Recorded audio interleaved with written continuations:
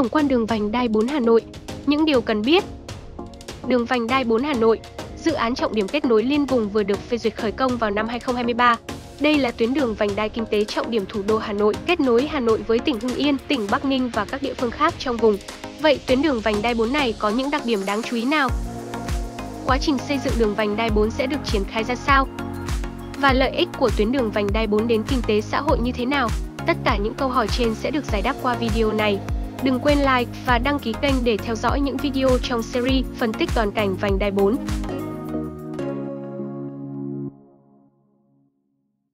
Trong các dự án trọng điểm về giao thông tại thành phố Hà Nội, nổi bật nhất là hệ thống mạng lưới đường vành đai đô thị, được lên quy hoạch nhằm mục đích giải tỏa áp lực giao thông nội đô và tạo liên kết các khu vực ven đô thị, bao gồm 7 tuyến đường vành đai.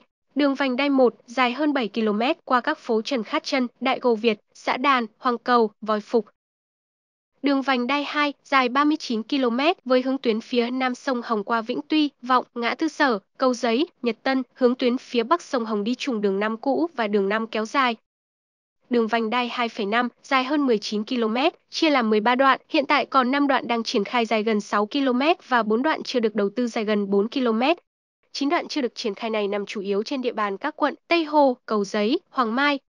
Đường vành đai 3 dài 68 km, hướng tuyến Nam Thăng Long, Mai Dịch, Pháp Vân, Cầu Thanh Trì, Sài Đồng, Ninh Hiệp, Đồng Xuân và nối vào đường Bắc Thăng Long, Nội Bài. Đường vành đai 3,5 dài hơn 45 km, mới hình thành đoạn đường Lê Trọng Tấn và đường Phúc La, Văn Phú. Đường vành đai 4 dài hơn 112 km đi qua thành phố Hà Nội và hai tỉnh Hưng Yên, Bắc Ninh. Đường vành đai 5 dài 331 km đi qua 8 tỉnh thành Hà Nội, Hòa Bình, Hà Nam, Thái Bình, Hải Dương, Bắc Giang, Thái Nguyên và Vĩnh Phúc. Đa số các đoạn tuyến của đường vành đai này hiện chưa được đầu tư, Đáng chú ý tại thời điểm hiện tại là tuyến đường vành đai 4 đang được thành phố Hà Nội đẩy nhanh để bắt đầu xây dựng trong năm 2023. Đường vành đai 4 với tổng chiều dài 112,8 km chạy qua 3 tỉnh thành Hà Nội, Hưng Yên, Bắc Ninh. Đoạn qua Hà Nội có chiều dài 58,2 km, đoạn qua Hưng Yên có chiều dài 19,3 km, đoạn qua Bắc Ninh có chiều dài 25,6 km và tuyến nối dài 9,7 km nối với đường cao tốc hiện hữu, tạo thành vành đai giao thông khép kín, Điểm đầu đường vành đai 4 bắt đầu tại km 3 695 trên cao tốc Nội Bài Lào Cai trên địa bàn xã Thanh Xuân huyện Sóc Sơn. Đi qua các khu vực, khu công nghiệp Quang Minh 2 huyện Mê Linh.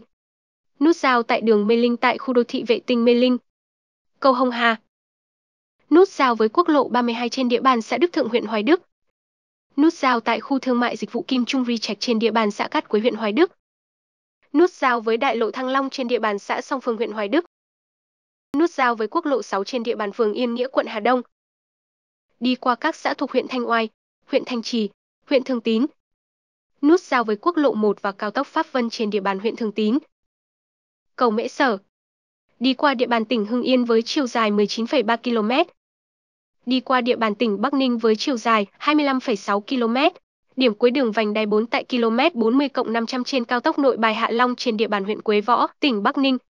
Toàn bộ dự án xây dựng đường vành đai 4 có tổng mức đầu tư sơ bộ là 85.813 tỷ đồng, trong đó ngân sách trung ương là 28.173 tỷ đồng, ngân sách địa phương là 28.193 tỷ đồng, vốn từ nhà đầu tư theo hình thức BOT là 29.447 tỷ đồng. Đường vành đai 4 tương tự đường vành đai 3, được xác định là tuyến đường cao tốc đô thị với trên 60% đường cao tốc được xây trên cao. Cấu trúc điển hình của đường vành đai 4 bao gồm Hệ thống đường cao tốc trên cao gồm 6 làn đường cao tốc trên cao, hai làn đường dừng khẩn cấp, hai đường song hành hai bên với 3 làn đường mỗi bên, các công trình hành lang cây xanh, vỉa hè, hành lang dự bị đường sắt đô thị. Tổng chiều rộng đường từ 90 đến 135 m tùy vị trí đường đi qua. Triển khai dự án đường vành đai 4. Kế hoạch triển khai xây dựng đường vành đai 4 sẽ triển khai từ năm 2022 cho đến khi đưa vào vận hành khai thác vào năm 2027.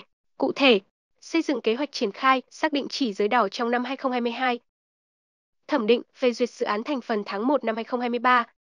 Khởi công xây dựng trước tháng 6 năm 2023. Cơ bản hoàn thành năm 2026.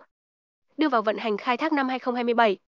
Bởi vì đặc thù dự án đường vành đai 4 là dự án xây dựng rất lớn và đi qua 3 tỉnh thành, cho nên dự án được áp dụng các biện pháp quản lý đặc thù riêng. Theo đó, trách nhiệm quản lý sẽ được chuyển giao cho địa phương để chủ động giải quyết các vướng mắc gặp phải và đẩy nhanh tiến độ thực hiện dự án. Theo đề xuất từ tập đoàn Vingroup đã được thành phố Hà Nội thống nhất thông qua, Dự án vành đai 4 được chia thành 3 nhóm dự án với 7 dự án thành phần. Cụ thể, Nhóm dự án 1 với 3 dự án thành phần. Dự án 1A, giải phóng mặt bằng trên địa bàn thành phố Hà Nội. Chủ đầu tư là Ủy ban nhân dân thành phố Hà Nội, nguồn vốn từ huy động ngân sách trung ương và địa phương. Dự án 1B, giải phóng mặt bằng trên địa bàn tỉnh Hưng Yên. Chủ đầu tư là Ủy ban nhân dân tỉnh Hưng Yên, nguồn vốn từ huy động ngân sách trung ương và địa phương. Dự án 1C, giải phóng mặt bằng trên địa bàn tỉnh Bắc Ninh. Chủ đầu tư là Ủy ban nhân dân tỉnh Bắc Ninh, nguồn vốn từ huy động ngân sách trung ương và địa phương. Nhóm dự án 2 với 3 dự án thành phần. Dự án 2A, xây dựng đường song hành hai bên trên địa bàn thành phố Hà Nội. Tổng chiều dài dự án là 58 km.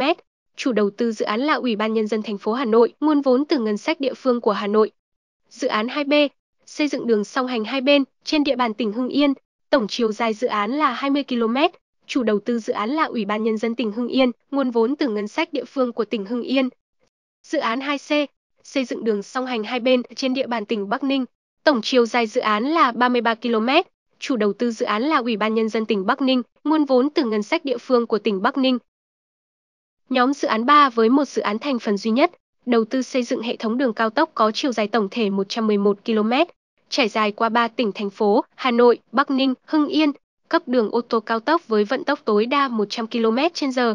Chủ đầu tư quản lý dự án là Ủy ban nhân dân thành phố Hà Nội, hình thức huy động vốn từ nhà đầu tư tư nhân theo loại hình đối tác công tư, ký hợp đồng BOT.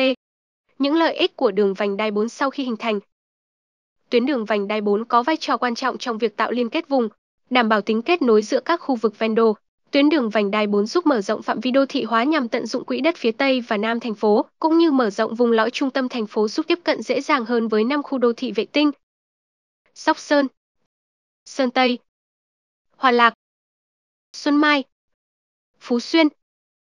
Như vậy, nếu tuyến đường này được hoàn thiện sẽ khắc phục tình trạng quá tải về giao thông, giúp mở rộng không gian, nguồn lực phát triển, khả năng liên kết, giao thương hàng hóa với các tỉnh lân cận trong vùng thủ đô cũng như vùng kinh tế trọng điểm Bắc Bộ. Cảm ơn các bạn đã xem hết video này. Hãy like và đăng ký kênh để đón xem video tiếp theo về các siêu dự án chuẩn bị hình thành trên tuyến đường vành đai 4.